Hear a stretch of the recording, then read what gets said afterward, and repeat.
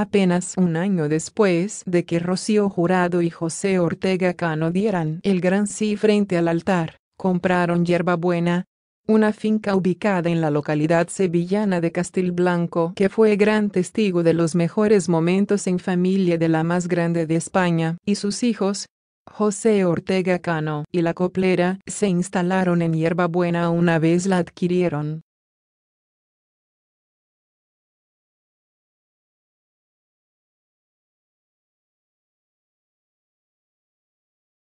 Estas dos últimas actividades son las que mejores frutos brindan en la finca en este momento. Recientemente la hija de Rocío Jurado nombró esta propiedad comprada por su madre en sociedad con José Ortega Cano, quien fuera su marido hasta la fatídica noche de su fallecimiento.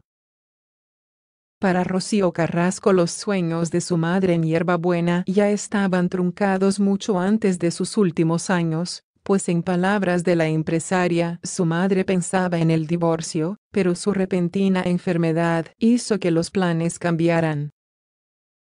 Cuando en 2006, el cáncer de páncreas finalizó con la vida de Rocío Jurado, no solo se aniquilaron los sueños de la coplera, sino las ilusiones de José Ortega Cano de vivir hasta los últimos días con el que, hasta hoy, él afirma que es el gran amor de su vida, la finca quedó en manos del torero y su destino estaría marcado por un triste final, como la vida de la más grande de España.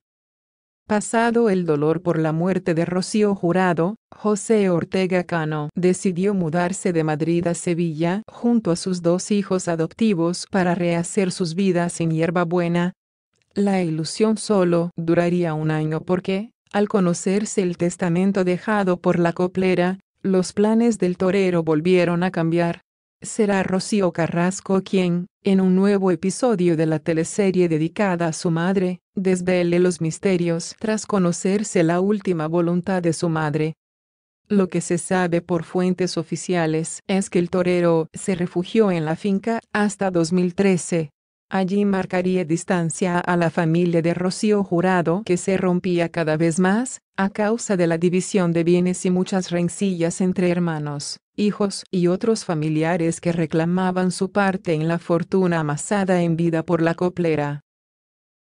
En ese mismo año, 2013, José Ortega Cano tomó la decisión que terminaría de romper las ilusiones que en vida tuvo Rocío Jurado con la finca, el torero vendió la hierba buena por más de 5 millones de euros, justo cuando su vida se alimentaba de una nueva ilusión con Ana María Aldón y el nacimiento de su primer hijo biológico,